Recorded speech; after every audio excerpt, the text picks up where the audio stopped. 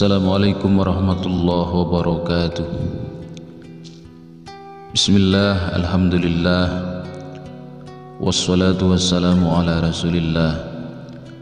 Sayyidina wa maulana Muhammad ibni Abdullah Wala hawla wala quwwata illa billah amma ba'du Para sahabat pintu karomah yang dirahmati Allah.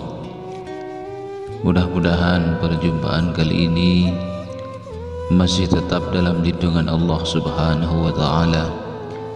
Dipanjangkan umur yang barokah, dimurahkan rezeki, dijauhkan dari segala musibah dan hajat-hajat kita segera dikabulkan oleh Allah Subhanahu wa taala.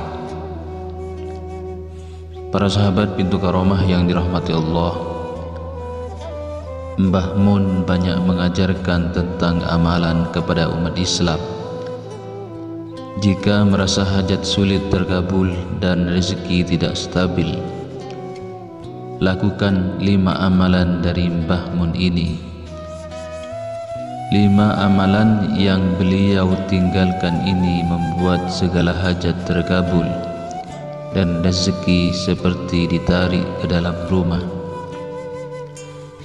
Beliau meninggal dunia pada 6 Agustus 2019 di Mekah, Arab Saudi dalam usia 91 tahun. Semasa hidup banyak sekali amalan diajarkan Bahmun termasuk yang berkaitan dengan rezeki. Setidaknya jika ingin rezeki lancar masuk rumah dan hajat mudah terkabul, maka ada lima amalan sederhana bisa dilakukan sesuai ajaran beliau. Bila dilakukan rutin setiap hari, amalan-amalan ini diyakini bisa menjadi penarik rezeki. Selain itu, rezeki yang diperoleh juga akan diberkahi Allah Subhanahu wa taala. Yang pertama di setiap mau duduk di lantai rumah dan mau berdiri dari duduk lantai rumah Bacalah solawat satu kali.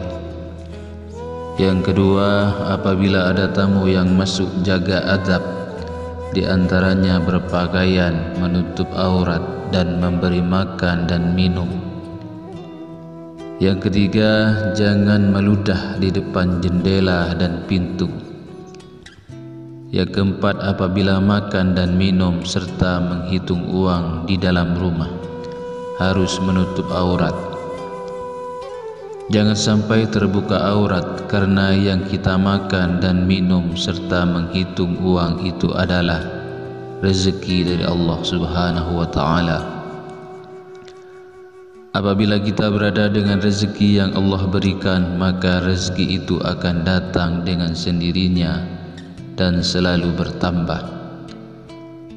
Yang kelima, ketika hendak masuk rumah, ucapkan salam satu kali. Apabila di dalam rumah itu ada orangnya, jika tidak ada orang di dalam rumah itu, maka ucapkanlah juga salam satu kali. Setelah itu sambil berjalan di dalam rumah, bacalah satu kali surat Al-Ikhlas. Menurut almarhum Bahmun, amalan harian ini diperolehnya dari gurunya yaitu Syekh Hasan Masijad sewaktu Mbah Mun belajar di Mekah. Umat Islam dianjurkan melakukan amalan-amalan tersebut setiap hari.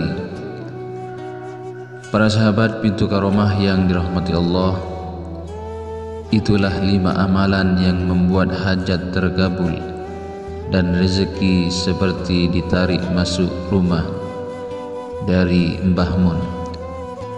Semoga video ini bermanfaat bagi kita semua dan semoga kita semua dapat mengamalkannya dengan istiqomah.